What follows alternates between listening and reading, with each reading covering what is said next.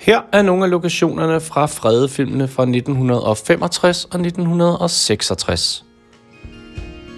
Den første slog først Frede vandt årets bedste danske film, og Paul Bungård vandt en bodil for hans rolle som skurken Coolidge, som blandt andet bor i den her bygning her i Slangerup.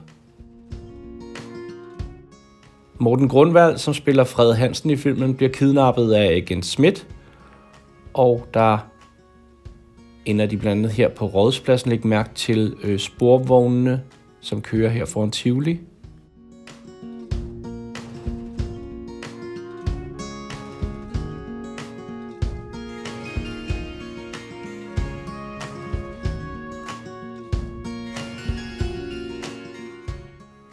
Her er der så en, der skal tage nogle billeder med en pas fotoautomat, men det i virkeligheden er det en, et gevær, som er gemt ind i den, og der sidder Frede herovre på den anden side, hvor der nu er Industriens Hus. Der kan man så se, der har været noget restaurant før i tiden.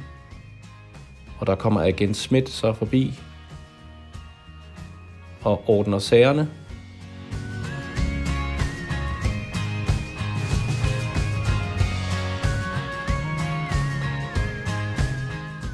Den her film er filmet tre år før, at Olsenbanden den kom. Og øh, det er faktisk en af de få film inden, hvor både Ove Sprogø, Paul Bungård og Morten Grundvald spiller med i samme film. Her kommer skurkene og vil ind på det hotel, hvor Frede han bor. Og der kan man også se, der er blevet bygget rigtig meget i baggrunden. Der er kommet en stor bygning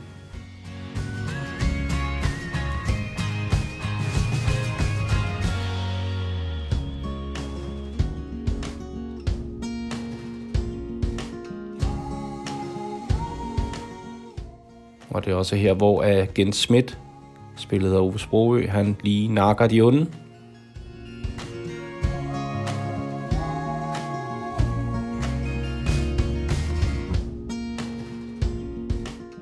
Den her øh, togscene, hvor øh, Fred Hansen, som er kørende i øh, spøj og skæmt, han tager pis på øh, Kulik, Paul Bungård, den er helt fantastisk. Og man kan jo godt forstå, at han vandt den bodil, for han spiller virkelig godt som skurk.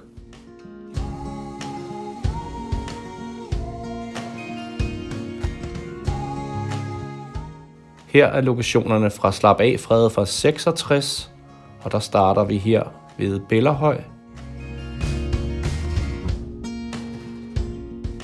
Og der kommer Frede i sin lille bil og parkerer her langs bygningerne. Og det er faktisk de her Bellerhøjhuse, hvor skurken han bor. Og der kører man han kørende her med sin mor i kørestolen. Og så løber hunden fra hende. Og der har jeg også fundet den rigtige vinkel, hvor øh, Morten Grundvald han tager hunden op.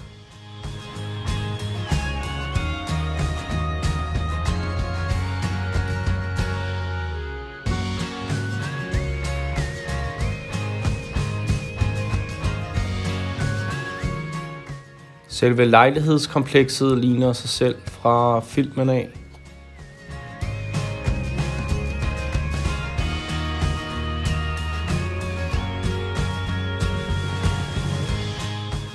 Også her ved den her vej, hvor øh, Morten Grundvald han kommer kørende i den lille bil, og hvor der også kommer nogle skurke her modsat. Der kan man godt kende husene på vejene.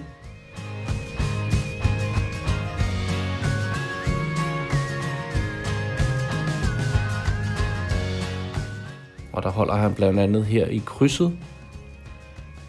Og der kan man også kende huset bag ved ham her. Det fandt jeg også øh, på den her vej.